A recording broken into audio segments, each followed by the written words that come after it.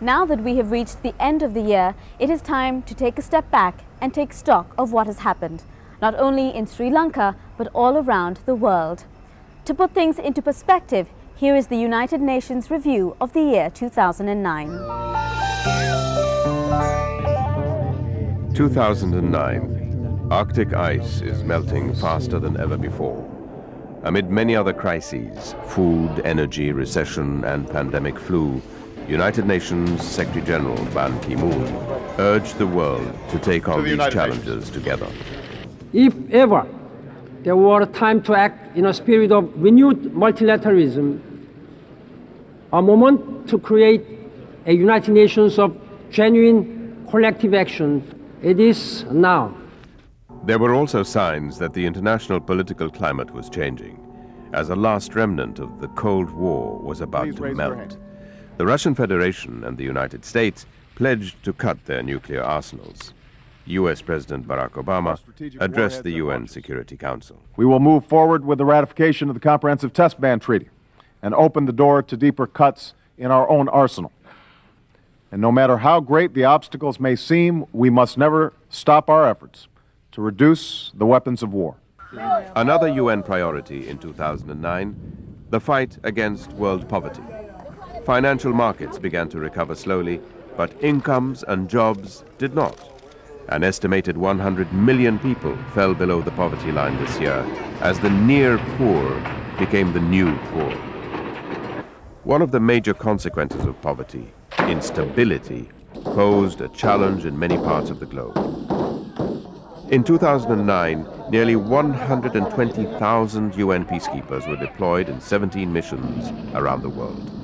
But the mission in Darfur, Sudan, still lacks critical assets like transport trucks and helicopters. And hundreds of thousands of internally displaced people are still struggling to survive in miserable surroundings.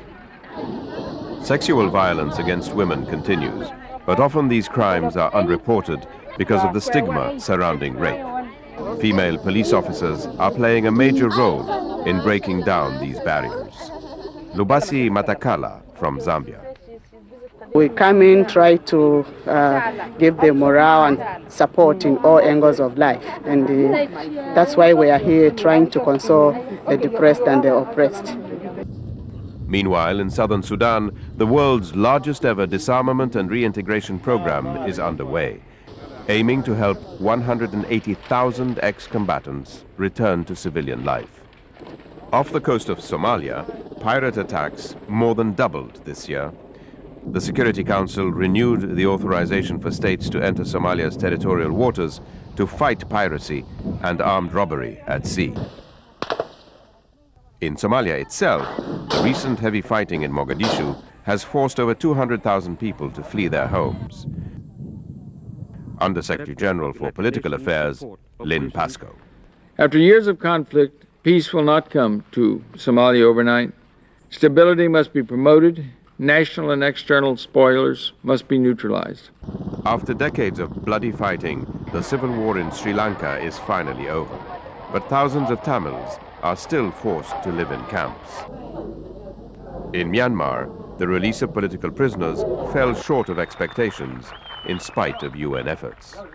There should be dialogue with all of the stakeholders in Myanmar. And of course, all political prisoners must be released, including uh, Aung San Suu Kyi. Meanwhile, refugees have fled Myanmar to makeshift camps in Thailand, where the UN Refugee Agency's Goodwill Ambassador Angelina Jolie visited. Do you have big family, husband, children? Violence in the Middle East continued in 2009. Early in the year, Ban Ki-moon denounced an attack by Israeli forces on a UN compound in Gaza.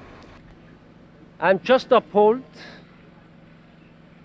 I'm not able to describe how I'm feeling having seen this site of the bombing of the United Nations compound. Yes. Everyone is now smell, smelling this burning. Still, it is still burning. It is an outrageous and totally unacceptable attack against the United Nations. The Secretary General witnessed firsthand the devastation brought about by the Israeli bombardment of Gaza during the three-week war. He also visited a town in Israel which has often been the target of Hamas rockets from Gaza.